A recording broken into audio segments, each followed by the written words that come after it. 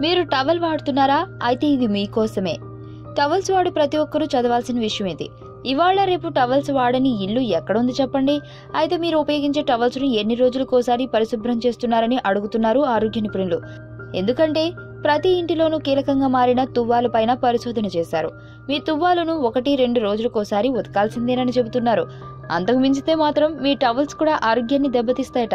అంటే అప్పటికప్పుడు ఏం కాకపోవచ్చు కానీ దీర్ఘకాలంలో ఎంతో కొంత ప్రభావం ఉంటుందని చెబుతున్నారు. ఇంకా చెప్పాలంటే ఒకసారి ఉతికిన టవల్ను మూడు సార్లకు మించి వాడకూడదు.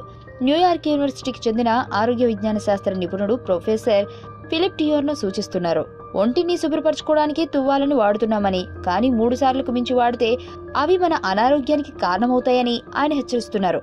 మూడు సార్లకు మించి వాడే టవల్స్ బాక్టీరియా ఫంగస్ మలమూత్ర రేణువులు మృత చర్మ కణాలు మరుగుదొడ్డిలో ఉండే రకరకాల సూక్ష్మజీవులకు నిలయాలుగా మారుతాయని హెచ్చరిస్తున్నారు.